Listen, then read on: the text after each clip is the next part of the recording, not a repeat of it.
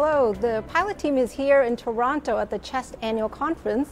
I'm here with Dr. Paul Noble. Um, Dr. Noble, I heard you just attended a great session in cryobiopsy. Can you tell us a little bit about it? Sure, it's my pleasure. Um, you know, working as a clinician in the field of interstitial lung diseases, one of the big challenges we face is uh, to decide whether we need to get a tissue biopsy uh, in patients.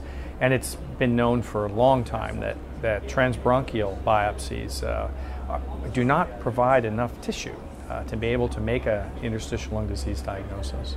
So one of the uh, procedures that's been developing over the last few years is a cryobiopsy. So where a probe is placed, um, you know, through the bronchus um, into the uh, into the meat of the lung. Tissue is frozen, uh, not crushed, frozen, uh, and then removed uh, for for pathologic evaluation. So I had the uh, good fortune to listen to two outstanding lectures. One was from Dr. Poletti from Italy, who probably has the world's largest experience with cryobiopsies, performing over 700 of those. And he uh, described uh, his approach and importantly talked about the diagnostic yield uh, as well as the complication rate. The big challenge with interstitial lung disease is determining whether one has usual interstitial pneumonia or they don't. And what he reported was that in his experience, uh, about 80% of the time, they are able to uh, establish a confident diagnosis when the patient is presented to a multidisciplinary uh, conference. So if you compare this to the transbronchial biopsy, where the yield is generally less than 20%, it's a major advance. However, there are um, significant complications that can occur. Bleeding is the main one. The pneumothorax rate also uh, can be a, a bit higher.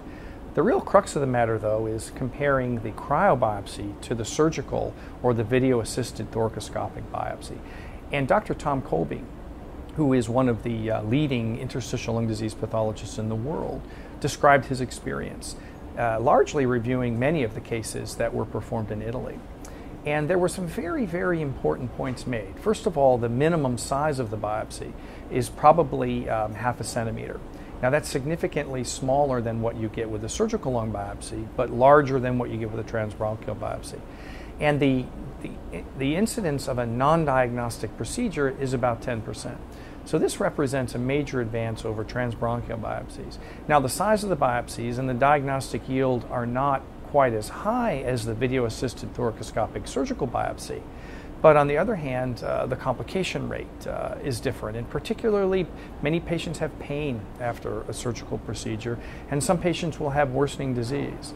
So, my take home message from this was that uh, this is a procedure that is likely to uh, be around for some time, and as individuals get skilled and gain more experience, it may substantially um, decrease the number of surgical biopsies that are needed. The conclusion was it would not replace surgical lung biopsy, but in, in, in, an individual patient situation, it may well be the procedure of choice. Thank you very much.